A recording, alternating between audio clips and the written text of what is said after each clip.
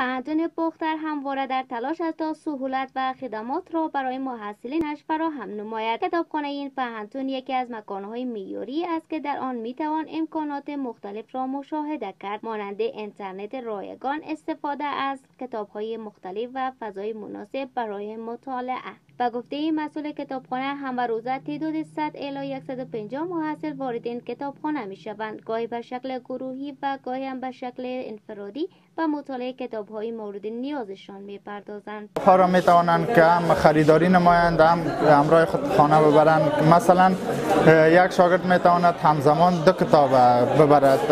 بعدا او ثبت register database ما می شود محصلین این پوهنتون از اینکه کتاب های مورد نیازشان می توان در اینجا دریافت کنند راضی هستند. سهر سروری یکی از محصلین پوهنځی ژورنالیسم این پوهنتون است. و همه روزه وارد این کتابخانه می شود و فضای این کتابخانه را مناسب می داند و از امکانات این مکان خوشنود است. ما همه روزه به پانتون باختر در کتابخانهش میاییم به خاطر که درس بخوانیم مطالعه می‌کنیم و هر قسم کتاب که می‌خوایم در اینجا موجود است. در یک فضای آرام و راحت می‌تونیم در اینجا درس های خود را بخوانیم و به هر نوع کتابی را که ما ضرورت داریم و می‌خوایم که از او استفاده بکنیم در این کتابخانه اوجا آماده است. این کتابخانه چندی پیش نیز شاهد برگزاری رقابت بزرگ کتابخانی بود و به باختر برای فرهنگ مطالعه همواره در تلاش است. امکانات و سهولت را برای محصلین این نهاد اکادمیک فراهم نماید.